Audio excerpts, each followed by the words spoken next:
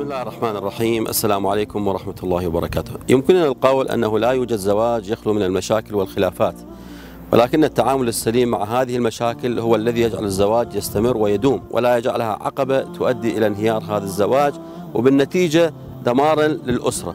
وهذا الأمر طبيعي وليس مستغربا فعند اختلاف الثقافات والتجارب والأنماط الفكرية في التحليل والاستنتاج تحدث بعض الخلافات بين الزوجين. ومن أجل حل هذه الإشكالات لا بد من البدء بالنقاش البناء ولكن بشرط أن يكون هذا النقاش خاضعا للمعايير والضوابط الدينية والأخلاقية.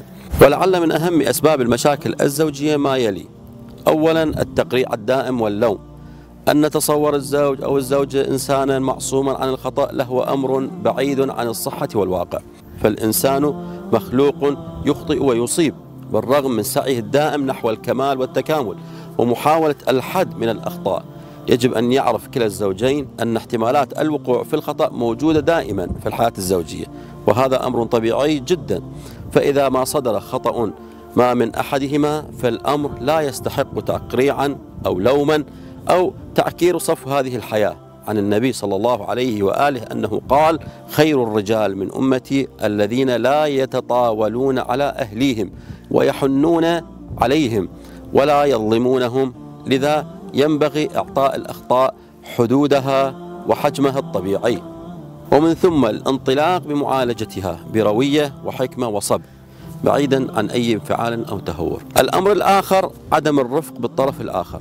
قد ينشب النزاع بين الزوجين بسبب المضايقات المستمرة كإقدام الرجل مثلا على عدم احترام الزوجة والرفق بها وكثرة الطلبات محملا للمرأة أعباء لا طاقة لها عليها. أو بالعكس تقوم الامرأة بهذا الشيء. لذا ينبغي على كلا الزوجين أن يراعي كل منهما حال الطرف الآخر ويشعر معه فلا يقدم على ما يسبب له الأذية والضرر على كلا المستويين المادي والمعنوي. بل ينبغي أخذ إمكانات كل طرف بنظر الاعتبار وتفهم ذلك. الأمر الثالث رتابة الحياة.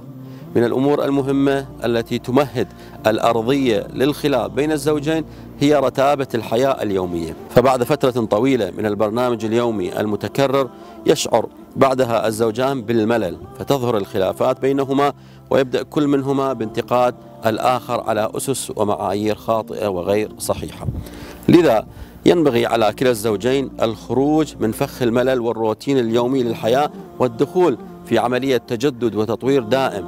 والظهور بصور ومواقف جديدة وهذا ما يوصي به ديننا الحنيف كالتجدد والتجمل من خلال اللباس والمظهر على سبيل المثال. والسلام عليكم ورحمة الله وبركاته.